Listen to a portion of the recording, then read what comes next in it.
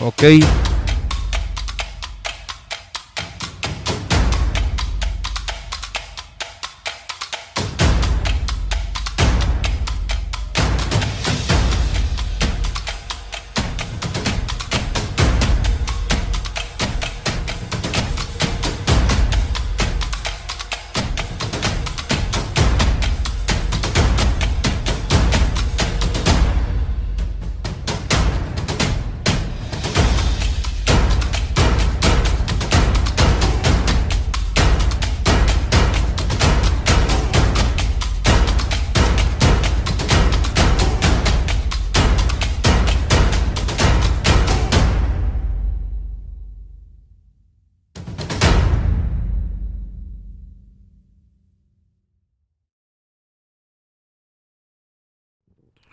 Pues hola, ¿qué tal amigos, amigas?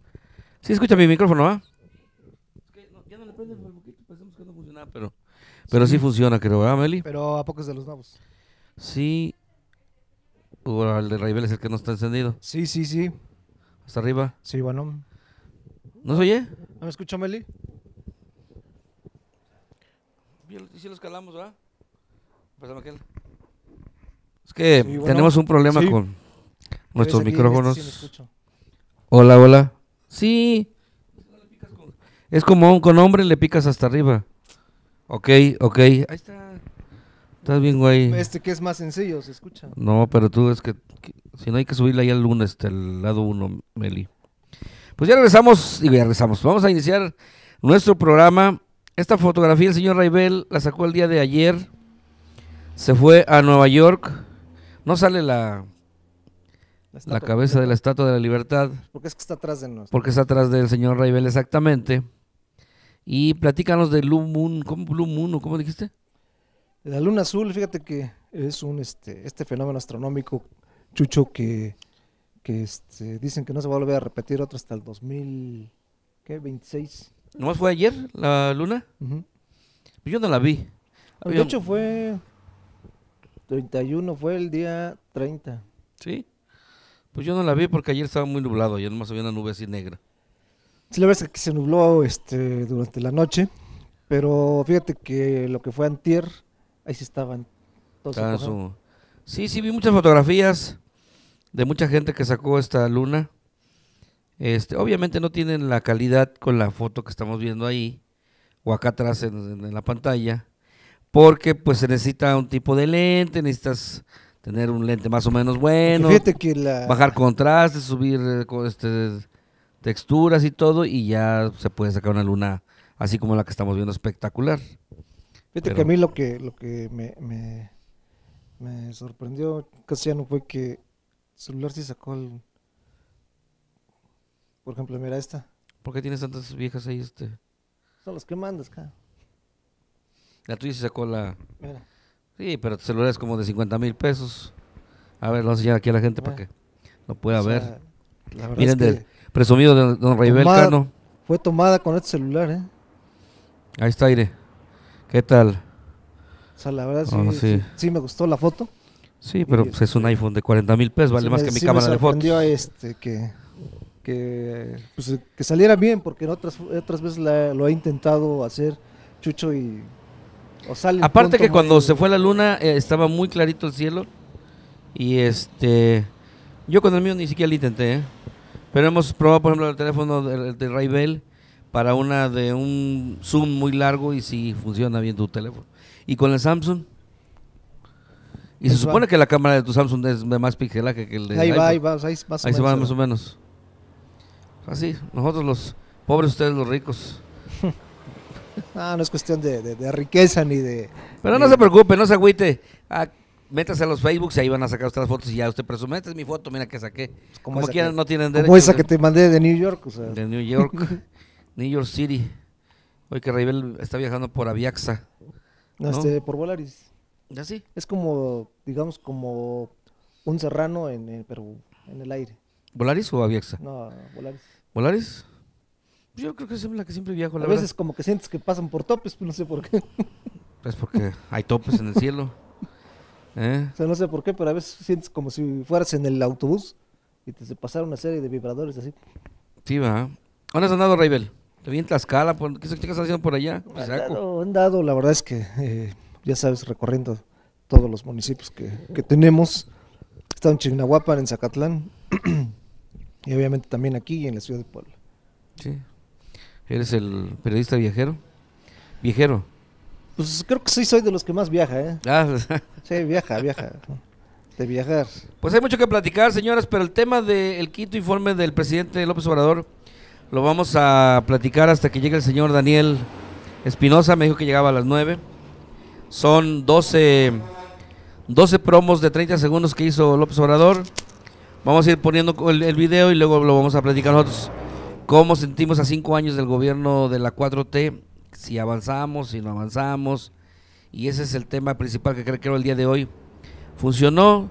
El, tuvimos programa el día eh, lunes y este y platicábamos de pues de la de Xochil Galvez, de Beatriz Paredes. Ya la próxima semana, este miércoles, no, el miércoles que viene, ya sabremos Resultados de la encuesta. de si la es 4T. Claudia o mejor Marcelo. y este, yo creo que de ahí se, pues, se van a apaciguar Oye, pero se adelantaron los del PRI, ¿no? ¿Eh? Los del Frente Amplio se adelantaron. Ah, pues Dijeron ya de una vez cómo va, cabrón. Yo lo haría. Para empezar, es una unidad debilitada, el gasto, Ray. Bueno, ya imprimieron las Ya, boletas. ya ¿no? para qué estarle haciendo más largo el cuento, ya. Pero pues no se sabe. Al final de cuentas, ellos determinaron. Lo que sí hemos platicado, pues es que Alito traicionó a Beatriz Paredes. Aunque diga que no y que el chisme y la chingada, ella, él se había dicho ya, lo había anticipado. Platicaba yo hoy con este personas de la 4T y hablamos del tema, ¿no? Este, en la mesa, en esta mesa, Ray. A ver, te voy a hacer cuentas. Bueno, vamos a decir, era una mesa, ocho, ocho este, Marcelos y dos Noroñas. Ni uno Claudia y ninguno este, los demás Monreal o los, Fíjate que ahorita te hago un paréntesis rápido, Chucho, lo que tomas tu café. Que hicieron hizo el PT un sondeo aquí en el jardín central de Huachinango y en Jico. Y me sorprendió que la gente votara más por Noroña. Bueno, es organizado por Noroña. Sí, es, es del PT, no es para Noroña. Pero pues, estaba libre, ¿no? Tenía la foto de todos los candidatos y abiertamente la gente iba y tachaba el que quería. No era sobre, no era urna, no era nada. Era simplemente un, un, este, una lona en- con cuadritos donde tú podías llegar. Mira, Noroña me cae muy bien. ¿Qué no le, qué no le, le- no me gustó? Que en lugar de apoyar a, a Marcelo de la movilización de todo lo exagerado que estaba con Claudia, se monta al revés. No, si no, ya no, no te gusta, vete. Dimo que no sé. Y él también está criticando que hay movilización, pero ahí es un ataque. Luego, la verdad es que la, la gente que sale a organizar esta, esta, no sé quién la hizo aquí, Del PT. pero quién, quién, quién lo presentó. Aquí estaba Maribel. Bueno, Maribel no se lleva conmigo. Aunque somos del mismo palo, se puede Son, decir. son petistas, ¿no? Pero por ejemplo, en, en Jicotepec, el que organiza nos manda al grupo del PT. Compañeros, no se les olvide mañana ir a votar. ¿Sí? ¿Me entiendes? ¿Y fuiste? O sea, no, no, no fui. Porque yo soy de Tlacuilo, no soy de Jico. Entonces, volvemos a lo mismo. ¿A quién invitas? A los compañeros que están en ese WhatsApp de 100 cabrones para que vayan ese día. Entonces, 100 vamos a votar para que se vea ahí que efectivamente Noroña está. Pero la gente que pasa, pues a lo mejor, oiga, véngase, ven, vótenle. Pero los 100 que estamos en el WhatsApp es como que, porque es algo prehecho, es como las encuestas, Ray. ¿De quién son las encuestas? Morena. Pues el que las paga. ¿Cuándo has visto que Nacho Mir saque una encuesta donde va abajo? De, de este, de, Yo me acuerdo de las de la consulta Miloski. de la elección Mi- pasada. ganaba mi candidata, ganó el tuyo. Hasta nos reganaste, ¿no? Entonces, la verdad es que, digo, son ejercicios que se hacen. A final de cuentas, si hubiera en ese, en ese listado del PT, hubiera habido. Mira, ¿cuántos habitantes? ¿Cuántos votamos aquí en, en Buchinango? Como unos, No es en la pura cabecera. como unos veintitantos mil o treinta mil. En la pura cabecera no, en todo el distrito, ¿no? No, en la Bueno, cabecera. ponle, así, así exagerado, 10 mil. Ah, No, ponle, voy- voy ponle, más, cierra, por eso cierra el número, eh, nomás puro Huachinango. Por eso, pura zona urbana. Por eso, ajá. Vamos, bueno, vamos a poner un número de 10 mil para que me, me entienda la gente. 10 mil. Si hiciéramos una encuesta representativa, tendría que haber, si no me equivoco, para 10 mil, como unas 400 a 600 encuestas. De 10 mil. Y hasta se fue muy exagerado. Y hasta me fui exagerado. Pero ponle que, que 600. No hubo 600 personas que hayan ido. No. Pues no representativa, ¿estás de acuerdo? Pero no, este Chucho, porque no es una encuesta. Es un sondeo. es, un... Dista, mira, es que, ay, que- ahora sí te lo digo con conocimiento de causa, dista mucho un sondeo de una encuesta. Son distintas. La Por eso. metodología es totalmente distinta.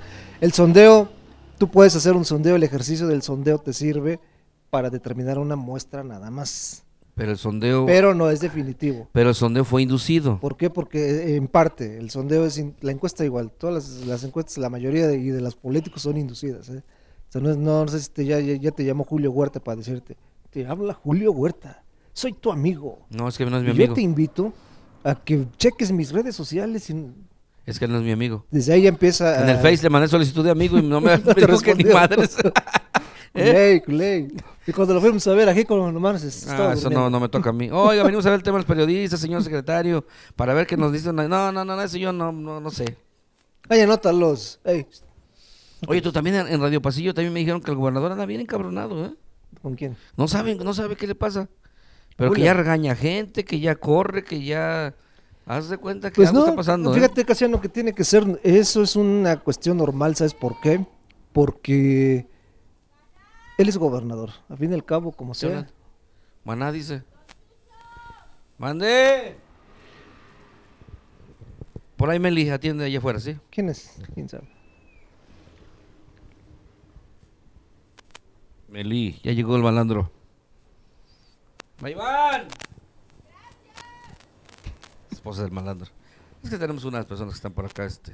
Sí, te digo, de eso es, eso es normal porque, mira, al fin y al cabo él es gobernador. Él ya nada más va a cerrar el, el- el- el periodo de gobierno. Él termina el año que viene. Entonces, que tiene que apretar tuercas por todos lados. ¿Por Ah. qué? Porque viene un proceso electoral en el que tú sabes que, pues digo, eso, nos- eso pasa muy seguido en otros países, no tanto aquí, en el que el gobernador toca el, el proceso o se mete en el proceso. Aparte, al final de cada, de cada administración viene la, la etapa de las traiciones, ¿no? Yo pienso, yo pienso que como, y el otro día platicábamos del, del dinero que aportan los empleados al partido político al que perteneces, que muchos se quejan porque es de a fuercita, ¿no? Pero, pero sí debe de ser porque yo, yo en mi particular, yo por ejemplo si me, si me diera 100 pesos Raibel, a lo mejor no un diezmo, pero no, no me pesaría darle al partido que nos puso, darle 5 pesos o 4 o a lo mejor un peso, que es tu posibilidad de, de darlo, ¿no? De hacer una aportación a- a- al grupo. Y también no se me hace descabellado que si yo trabajo para ti, Raibel, si no se me hace, si no se me hace descabellado que si yo trabajo para ti, pues que, que tenga yo que seguir en, en a lo mejor en lo que viene un proyecto. Y si ya no ya no quiero jalar contigo pues me, me, me despides y me voy. Porque los trabajos en gobierno no, no generan este no generan antigüedad. Pues sí. entonces por ahí va el tema no así que pues está muy muy muy raro ahí. Así que no sé ya vienen vienen cosas Pero te digo, es yo normal- yo- que se tardó el gobernador en apretar tuercas eh Sí. estamos a agosto septiembre perdón ya estamos a otro mes O sea, ahí le queda. En septiembre cambia el gobernador. O sea, Por eso. Estamos aquí un año que. Se echó casi 10 meses, 11 meses lleva y ya, yo pienso que esto desde febrero, marzo, él debió haber, señores, este es mi equipo, con este me voy a quedar a trabajar, no me funciona fulano. A ver, señores secretarios, de una vez vamos a cambiar a la gente que, que vamos a cambiar. La verdad es que. Digo, es normal el, el- por el cierre de- del periodo de gobierno, Chucho. Cambios. No sabes si va a haber cambios. Dices que eh, están moviéndose piezas dentro de las secretarías. Eso, eso obedece pues, a, ese, a ese ajuste de tuercas que va haciendo el, el gobernador, ¿no? Eh, Para que su gobierno vaya apretando y vaya cerrando como él quiere. Y, y yo creo que mucha gente también la van a sacar para la campaña, ¿no? O Definitivamente. sea, hay mucha gente que a lo mejor va a decir, oye, gobernador, regálame O me voy a No, y como a- dices, Chucho, hay gente que, que aunque trabaja en el gobierno y sabe que ya viene el cambio, Van con Nacho, van con o sea, Armenta, exacto, ¿no? o sea, van con otros candidatos. y si sabes que día me voy de una vez, este, hasta luego, bye, porque me, me interesa ese equipo y le vamos a chambear. No, y aparte tú sabes que luego ya el último año de gobierno ya ni les pagan salario. No, Guatemala, aquí sí, aquí todos, y te dan tu aguinaldo y to- todo, lo, todo lo que, las prestaciones de ley que te Y pues tocan. ya búscale, ¿no? O sea, ya chambeaste cinco años, ya búscale el último. O sea, Pues vamos a nuestro primer corte, ya no la pasamos platicando aquí, no- ni una nota platicamos. Vamos a corte y regresamos.